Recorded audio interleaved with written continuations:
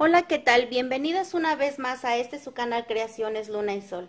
El día de hoy vamos a hacer una falda bordada y deshilada. Los materiales que vamos a utilizar son los siguientes. Vamos a utilizar este tipo de pedrería que viene así, con dos orificios.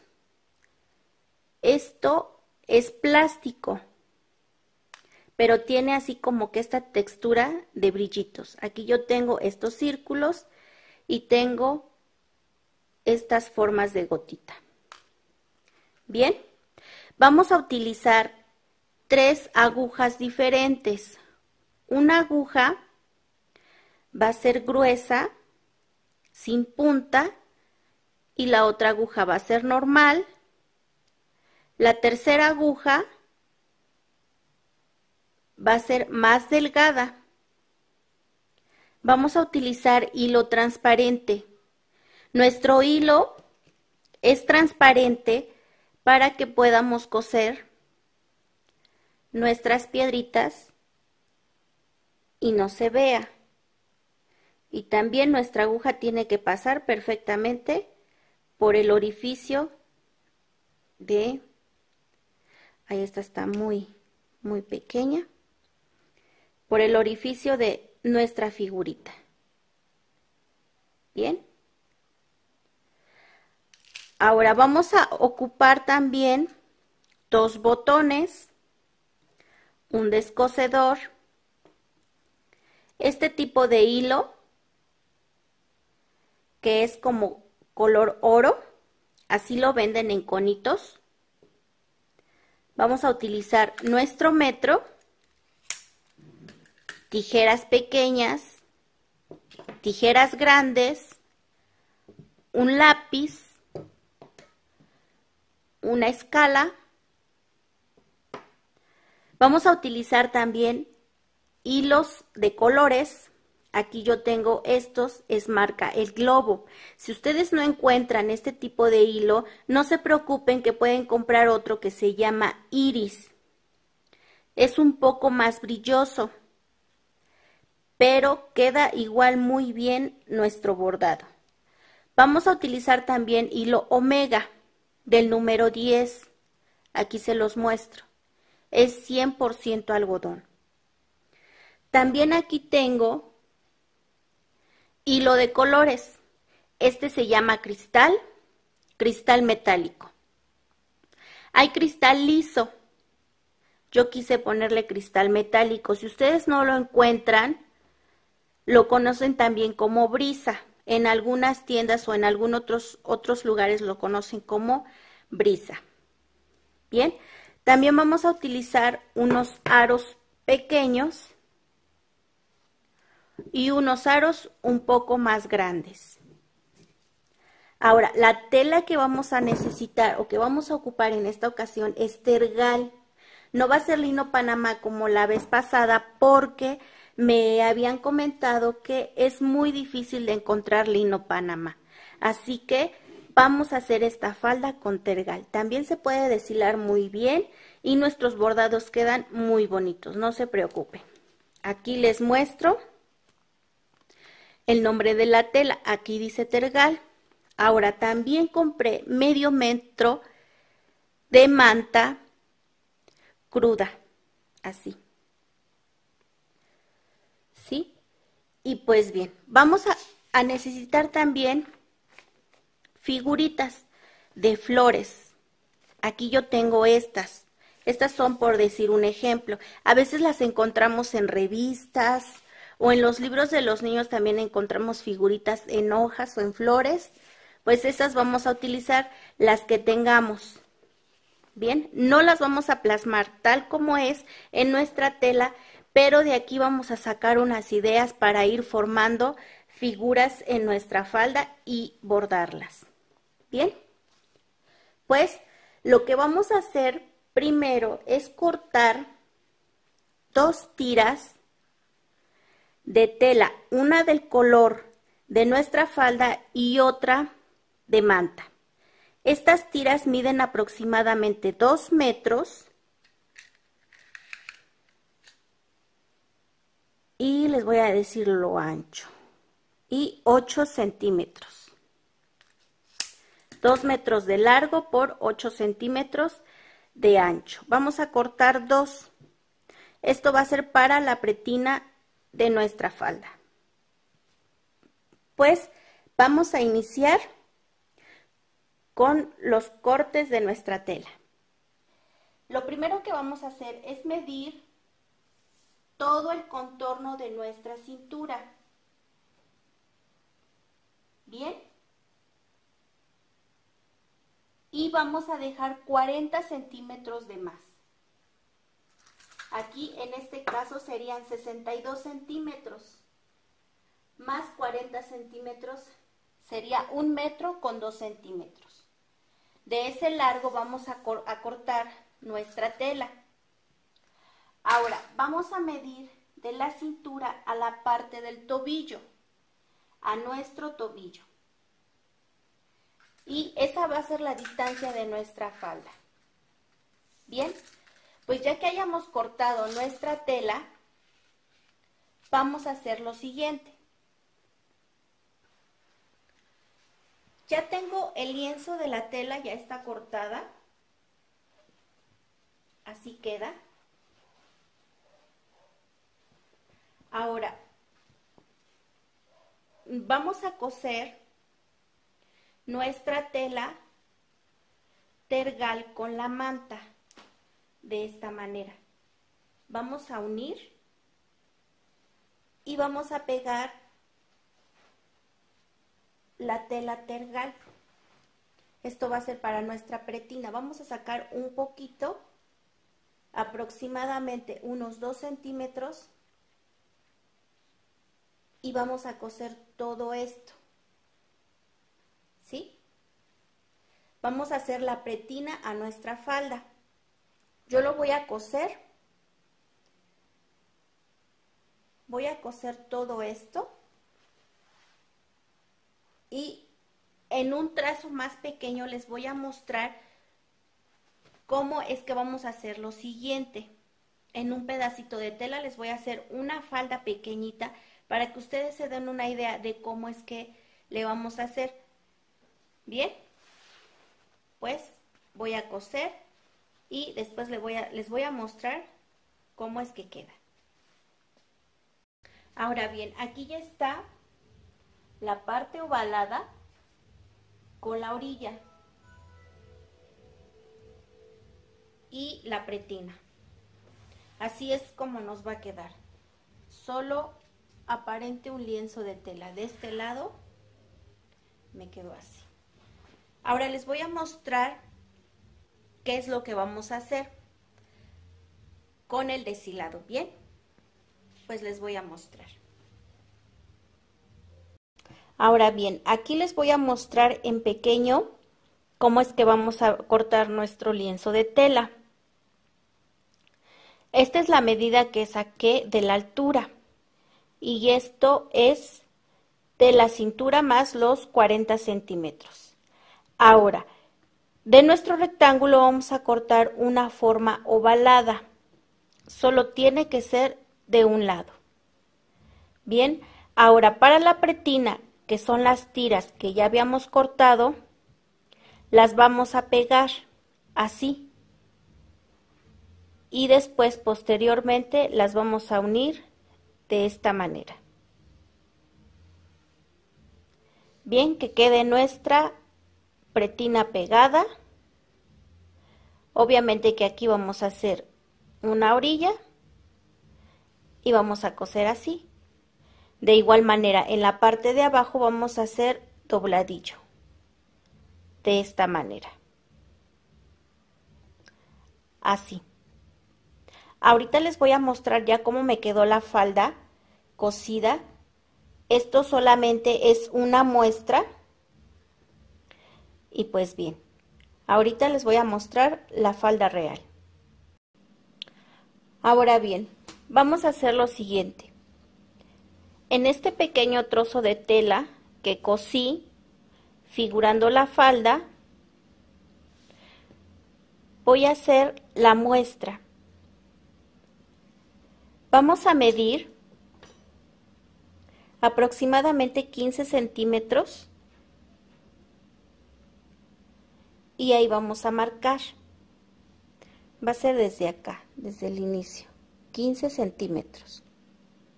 Y ahí vamos a poner una pequeña marquita así. Y vamos a medir todo por todo 15 centímetros.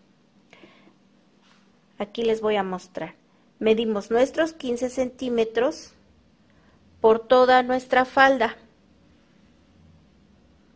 hasta llegar a donde empieza la forma ovalada. Si los 15 centímetros dan aproximadamente aquí, deshilamos hasta esta parte. En este extremo vamos a dejar 15 centímetros nuevamente. Aquí. Que es lo que equivale a este extremo. Aquí es donde inicia mi forma ovalada. Aquí voy a medir 15 centímetros hasta acá.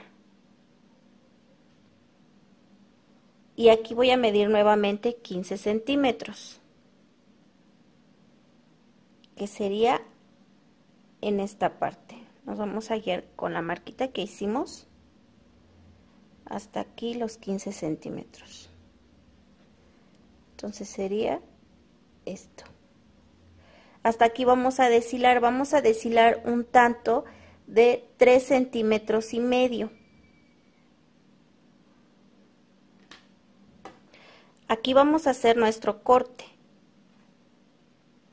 Vamos a meter nuestras tijeras y hacemos nuestro corte así de esta manera. Ahora, en el otro extremo, aquí no vamos a dejar 15 centímetros.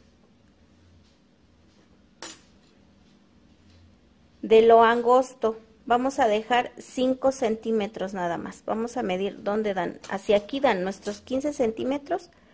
Vamos a medir 5. Así. Y vamos a medir 3.5 a partir de aquí, que sería acá.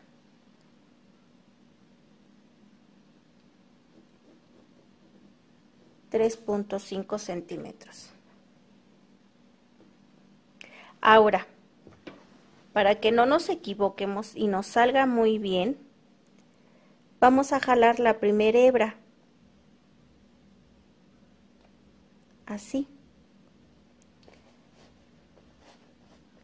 Y esa hebra la vamos a llevar por todo lo largo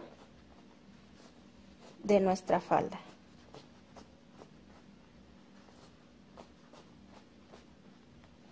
En el video anterior del rebozo deshilado ya les había yo mostrado cómo es que íbamos a hacer. Miren, antes de cortar hay que tener cuidado. Aquí da mi hilo. Pues bien, aquí vamos a cortar. Vamos a hacer un corte. Y vamos a sacar todo nuestro hilo. No podíamos cortar antes porque si cortábamos antes, corríamos el riesgo de equivocarnos y echar a perder todo el trabajo que ya hicimos. Por eso es que primero cortamos de un extremo y después en el otro extremo. Así. Ahora bien, vamos a deshilar los 3 centímetros y medio. Aquí nuevamente los voy a marcar. Es importante que los marquemos con lápiz porque si los marcamos con lapicero después va a ser muy difícil de quitar. Hasta aquí voy a llegar. Bien, pues voy a deshilar todo. Ahora, ¿qué vamos a hacer? Vamos a tomar aproximadamente la distancia de unas tres o cuatro hebras. Vamos a tomar tres hebras. Y vamos a pasar nuestro hilo. Recuerden que este es nuestro hilo de omega. Ahora vamos a dejar un poquito larga esta hebra y vamos a volver a pasar así de esta manera. No vamos a anudar, recuerden que en el deshilado no se anuda. Se pasó.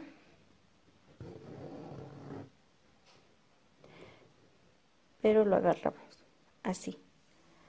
Ahora vamos a volver a pasar por el mismo lugar y vamos a avanzar un poquito. Esta hebra de hilo se va a ir así. Ahora vamos a hacer, vamos a sacar por el mismo lugar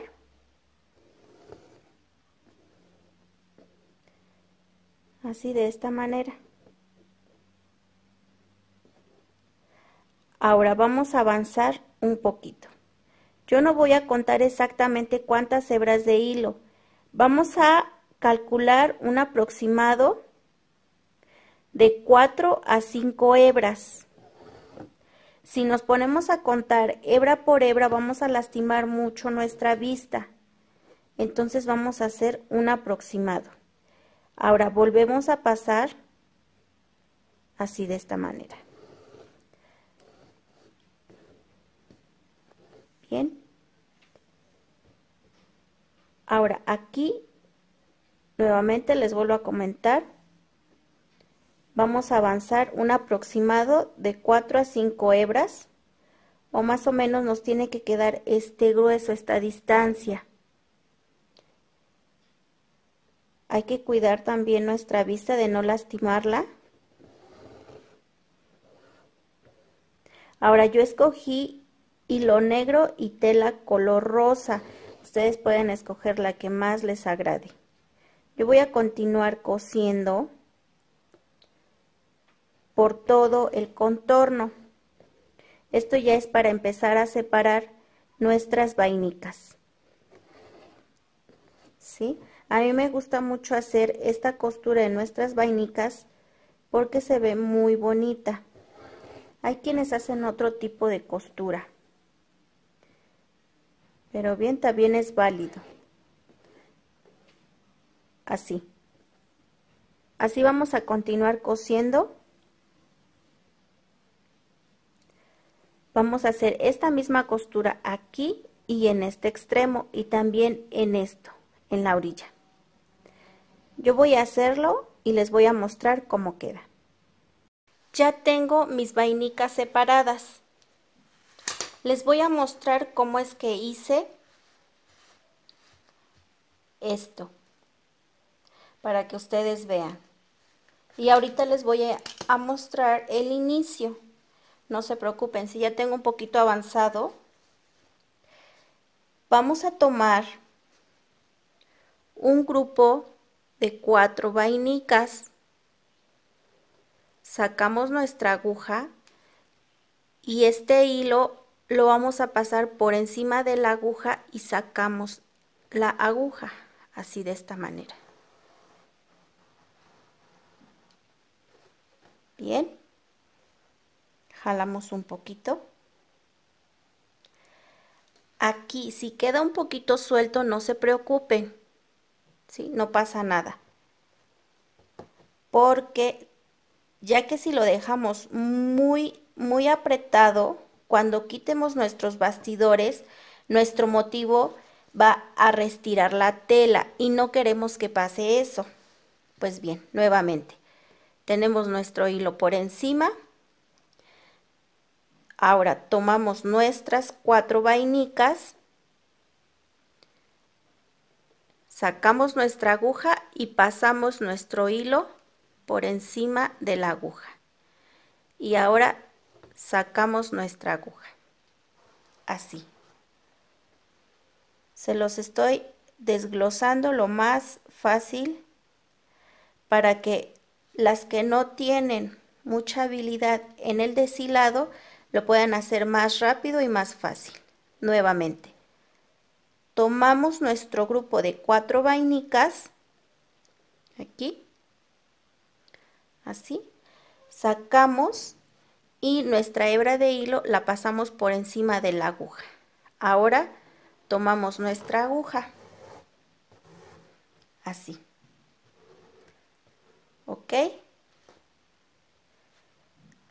De esta manera jalamos un poquito y aseguramos. Así es como nos van a quedar todas nuestras vainicas. Vamos a continuar bordando de esta manera. Ahora lo que yo voy a hacer es retirar mis bastidores y regresarlos al principio. Yo tengo ya, a ver, aquí pasamos el hilo con la aguja. Ahora, lo siguiente que vamos a hacer es, ya que hayamos terminado todas nuestra, toda nuestra tira de vainicas, con el mismo tono de hilo, ahora aquí les voy a mostrar cómo es que vamos a hacer el amarre o el inicio. Pasamos de esta manera, así, dejamos un poquito largo y volvemos a pasar por debajo así. Aquí está un poquito duro, pero de eso se trata, de que no se vea mucho donde hicimos la unión o los amarres. Por eso es que a veces en el deshilado se hace este tipo de, de perdón, no sabría cómo decirles, de amarre. Ahora, volvemos a regresar en este mismo punto y jalamos. Si está un poquito duro, no se preocupen. Es porque el hilo que estamos agregando es muy grueso. Bien. Ahora aquí pasamos por dentro Aquí se los voy a acercar un poquito. Por dentro y pasamos por debajo. Así.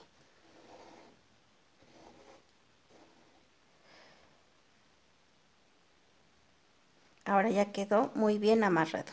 Y esta hebra de hilo ya la podemos cortar. Bien, así fue como amarré esta hebra. Esta que está aquí. Ahora vamos a hacer lo siguiente tomamos una vainica, esta vainica, la tomamos y nuevamente hacemos el mismo amarre que estábamos haciendo en nuestras vainicas. Bien, así. Ahora nuevamente tomamos la siguiente vainica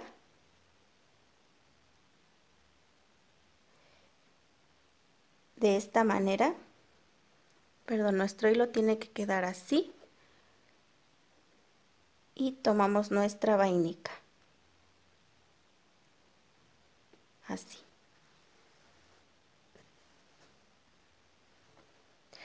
Estoy trabajando con lino panamá porque en el rebozo que hice deshilado me comentaron, me hicieron unos comentarios que es muy difícil encontrar lino Panamá y me sugirieron que les mostrase con, con, con tergal, perdón. Por eso es que lo estamos haciendo con tergal. Ahora nuevamente tomamos nuestra vainica y pasamos nuestro hilo por encima de la aguja y jalamos. Ahí les vuelvo a repetir. Por eso es que estoy haciendo este video con, con tela tergal.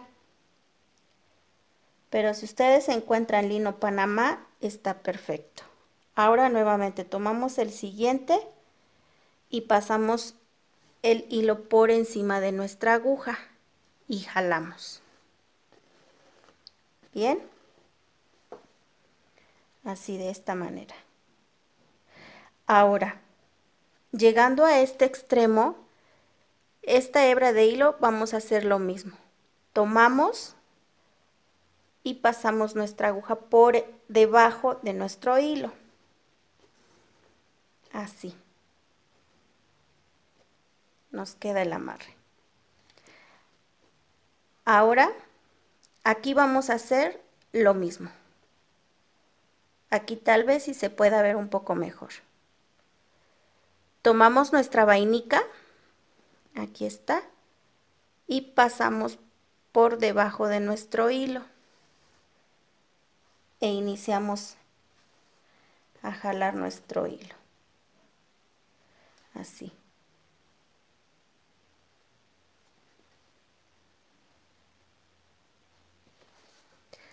Ahora aquí nuevamente. Tomamos nuestra vainica.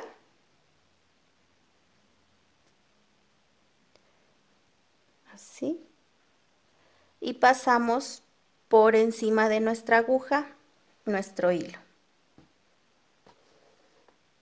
Bien. Así. Ahora vamos a hacer el siguiente. Tomamos la vainica y pasamos así. Yo voy a continuar haciendo el bordado. Aquí hay que jalar un poquito nuestra hebra de hilo porque si no, como son puros amarres, nos puede quedar un poco suelto. Vamos a hacer la siguiente. Tomamos nuestra vainica y pasamos por encima de nuestro hilo. Por debajo de nuestro hilo, perdón.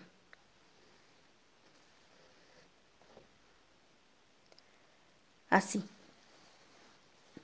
Ahora, aquí vamos a hacer lo siguiente va a ser lo mismo.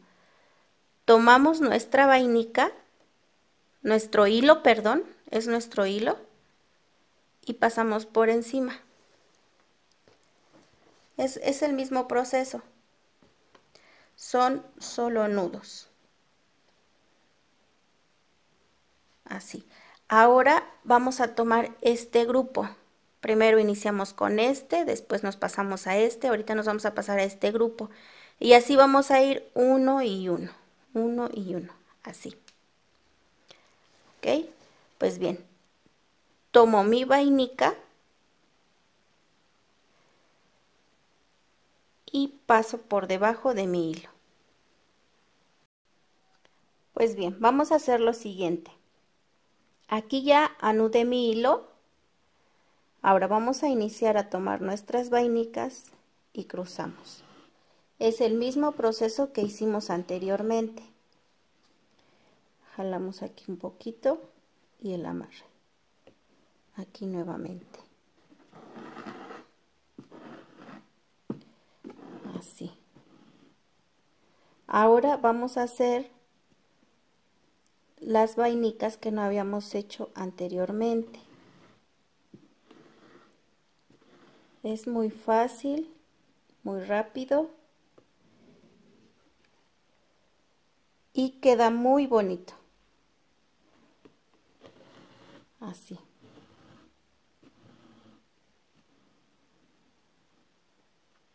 Ahora aquí vamos a hacer lo siguiente. Tomamos, nuevamente hacemos nuestro nudo, como anteriormente lo estábamos haciendo, con la diferencia de que aquí vamos a hacer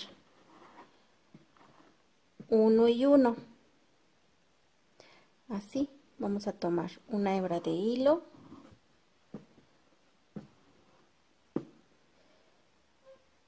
Dejamos esta y levantamos la siguiente. Así. Esto es de manera normal. Se los voy a acercar un poquito más para que puedan apreciar. Ahora vamos a tomar esta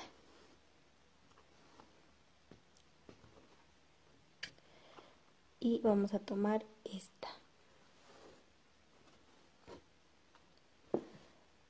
se anuda un poquito mi hilo pero prefiero mi hebra larga y no estar cortando a cada rato así ahora vamos a dejar esta y tomamos la siguiente Así vamos a continuar tomando una y una. Ustedes disculpen si es que se mueve mucho. Ahora vamos a tomar esta. Trato de no mover mucho mi bordado, pero pues a veces es imposible no moverlo. Ahora vamos a tomar esta hebra de hilo. Así.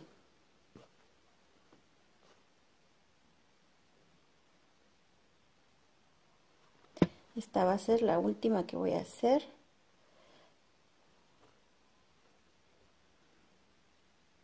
Van a quedar como especie de rositas en el centro.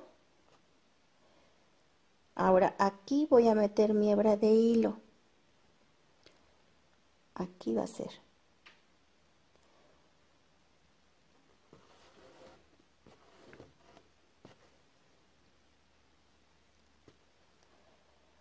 Así. Ahora vamos a continuar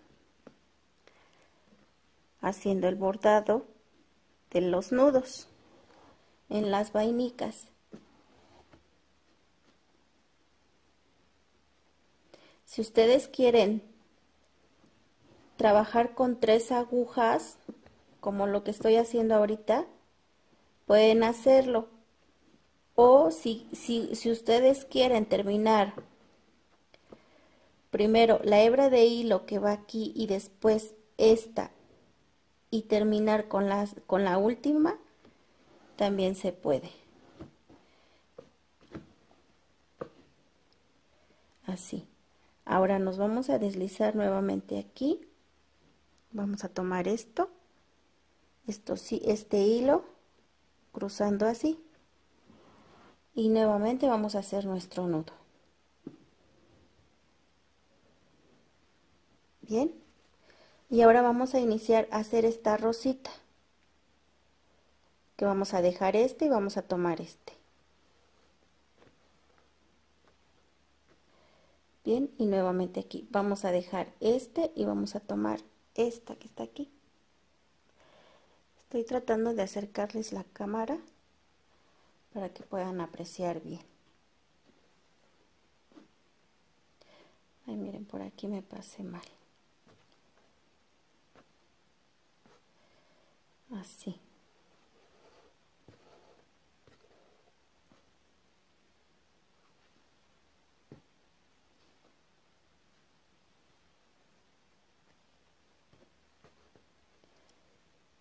Miren, se me volvió a amarrar.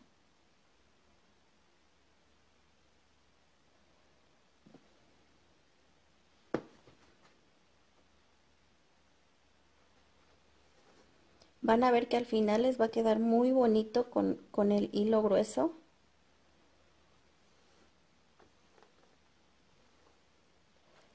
Así. Ahora vamos a dejar esta y vamos a hacer esta pequeñita que está aquí.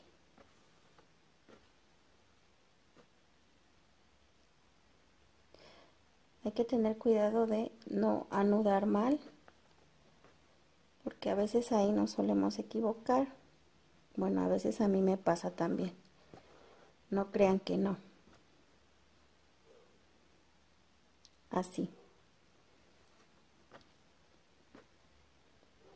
Ahora, ya que quedamos aquí, vamos a meter nuestra aguja así.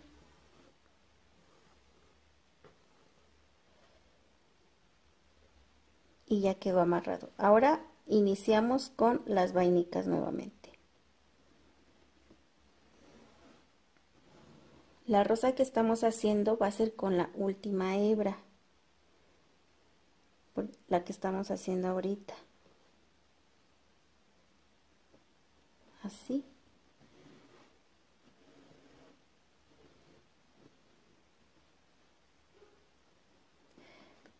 Bien.